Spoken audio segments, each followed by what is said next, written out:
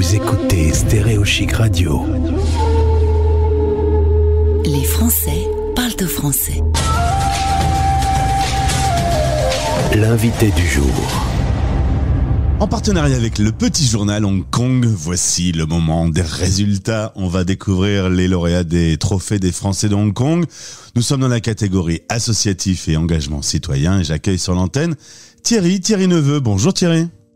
Bonjour. Félicitations. Merci, c'est gentil.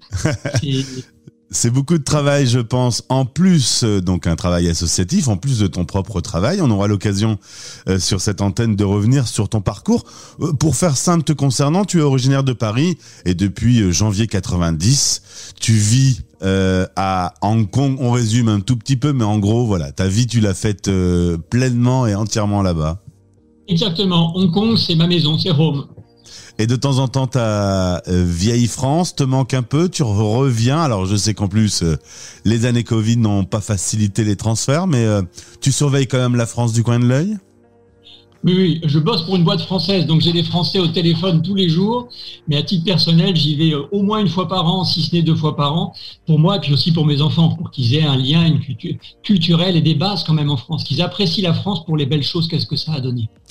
On reviendra ensemble donc sur ton parcours dans un Français dans le monde. Aujourd'hui, on est rassemblés euh, grâce à ce prix. Vous venez de rafler, donc je dis vous, c'est toi et tous ceux qui travaillent dans ce, cette structure, euh, le prix euh, de la catégorie associatif et engagement citoyen. Est-ce que tu peux pour nos auditeurs présenter ce que fait Make It Work? Make It Work, c'est un projet qui a été créé par la fondation de la Chambre de commerce à Hong Kong et qui a mis en place une organisation où on aide les travailleurs pauvres à Hong Kong à essayer de se sortir de la pauvreté. À Hong Kong, il y a 7 millions d'habitants, il y a 26% de gens qui vivent sous le seuil de pauvreté, 550 000, c'est beaucoup, et on essaye de les aider. On a fait trois centres. Dans chaque centre, ils viennent, ils peuvent avoir la nourriture, on, discute avec eux dans le détail comme quel est leur parcours et comment est-ce qu'on peut les aider. On organise des trainings, on essaie de trouver des jobs et à l'issue de l'exercice, ces gens normalement trouvent par eux-mêmes un job qui les sort de la pauvreté. Alors, euh, depuis 15 ans, tu as rejoint cette euh, structure. Tu voulais aider la communauté et euh, le, travail, le travail avec les autres Français de Hong Kong, c'était vraiment une volonté de, de faire quelque chose de concret dans la ville. Exactement. Euh, quand je suis arrivé à Hong Kong, je n'avais pas grand-chose. Au fur et à mesure, j'ai eu des hauts et des bas, mais j'ai en gros, j'ai réussi à me faire à, me faire une place ici. Et vraiment, j'ai beaucoup apprécié Hong Kong et ce que ça offrait en termes de liberté, en termes de capacité de rebond, en termes d'innovation et de plein de choses. Vraiment, euh, je me suis dit que ça m'a tellement donné Hong Kong que ça n'est que justice qu'à mon tour, maintenant que je suis un peu un vieillard, eh bien, je rende à Hong Kong également à mon tour. Mais non, Thierry, pas un vieillard. Quelqu'un qui a de l'expérience.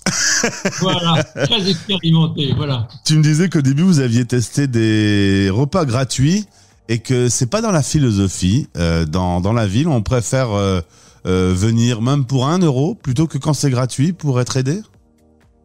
Exactement. La, charité a, comment dire, presque mauvaise presse ici. Les gens ne veulent pas aller faire la soupe populaire, les gens ne veulent pas qu'on leur donne. Euh, par contre, on, a essayé au début, hein, on a fait des repas gratuits et ça ne marchait pas. Et on a, on a vraiment demandé, on nous a expliqué ça. Non, les gens ont leur fierté, même s'ils sont ultra pauvres. Donc ce qu'on a fait, c'est au lieu de, repas gratuits, on a fait des repas à 8 euh, Hong Kong, ce qui fait 1 euro. Donc 1 euro, un repas complet à midi, et du coup les gens viennent. Donc c'est vraiment un stigma, c'est quelque chose de culturel. Ici à Hong Kong, c'est ultra capitaliste. Il n'y a pas de retraite, il n'y a pas de chômage, il y a un système médical ultra basique. Euh, tout est payant. Et donc tous les gens ont l'habitude de se, de se débrouiller par eux-mêmes et surtout pas de dépendre de la charité. C'est mal vu. Tu me disais qu'une centaine de personnes sortent de la pauvreté chaque année grâce à cette structure. Euh, tu me disais, c'est beaucoup de gens qu'on aide et, il y en a 100 qui sortent. Euh, ça semble pas beaucoup, mais c'est une fierté pour vous, ces 100 personnes qui quittent la pauvreté. Oui, parce que ça paraît, paraît pas beaucoup par rapport à 550 000, ça c'était extrêmement peu. Mais d'abord, on vient de démarrer, ça fait six ans maintenant.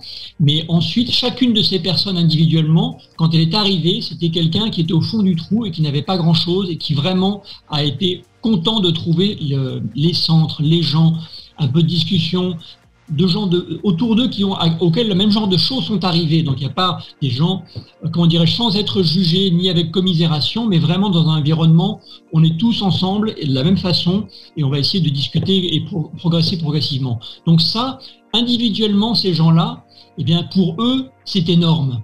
Et quand je dis c'est énorme, c'est que un très grand nombre des gens qu'on a sortis de la pauvreté comme ça, qui maintenant ont un vrai job, eh bien, ils reviennent ensuite à Make It Work dans les centres et ils aident comme des ah volontaires. Et ça, c'est génial. Alors euh, justement, ces deux dernières années ont été particulièrement difficiles. La planète a été traversée par une pandémie et en Asie en particulier, euh, le sujet est traité de façon extrêmement stricte. Comment vous avez pu aider malgré la pandémie? La pandémie a été un énorme problème, numéro un, parce que ça a fait s'effondrer des, pans entiers de l'économie qui embauchaient pas mal de gens à bas revenus.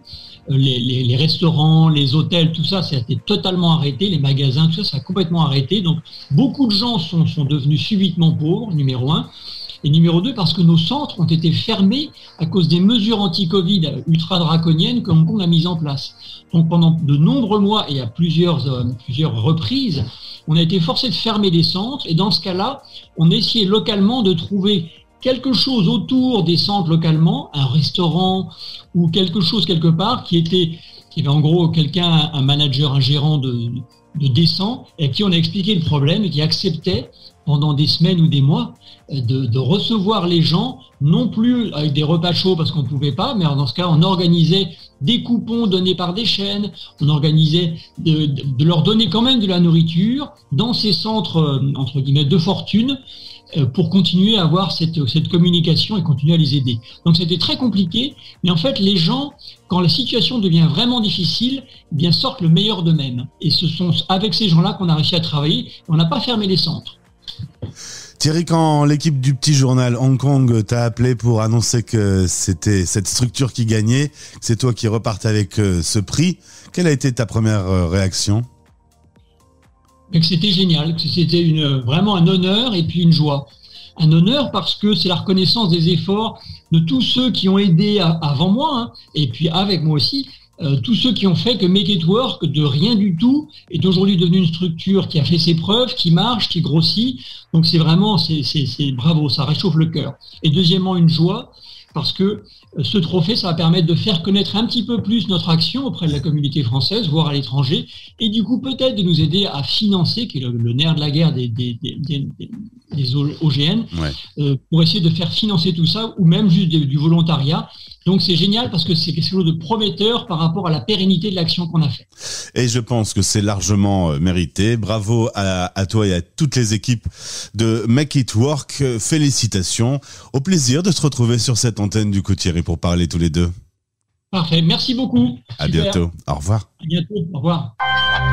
Les Français parlent de français. En direct à midi, en rediff à minuit.